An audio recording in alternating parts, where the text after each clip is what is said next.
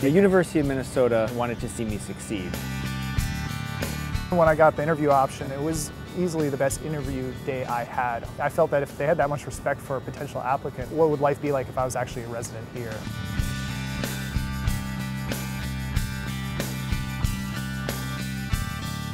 The people here cared about my education. It is a place that is flexible to different people's needs and to different people's interests. It really allows for me to tailor my curriculum for, for exactly what I want to get out of the program and for my future goals. Leadership in this program is really committed to providing the experience that the individual resident wants.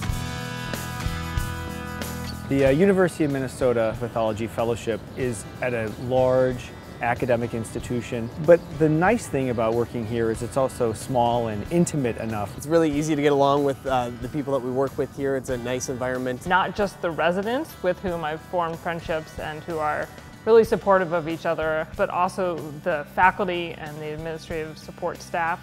Call it Minnesota nice or what you will. Because of all that, the environment is not stressful. People here have a good work-life balance.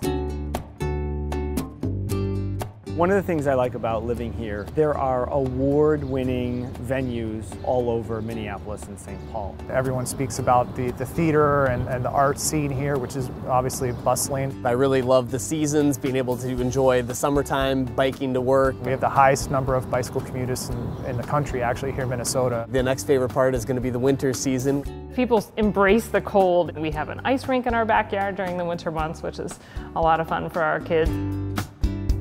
I think I can appreciate now why people who are born in Minnesota never want to leave.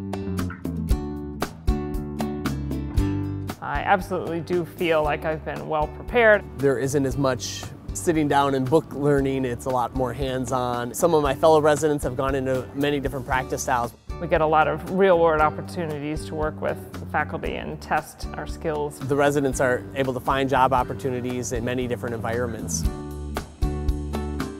so happy that I picked the University of Minnesota. The pathology department and residency program here is really a place where you can be happy.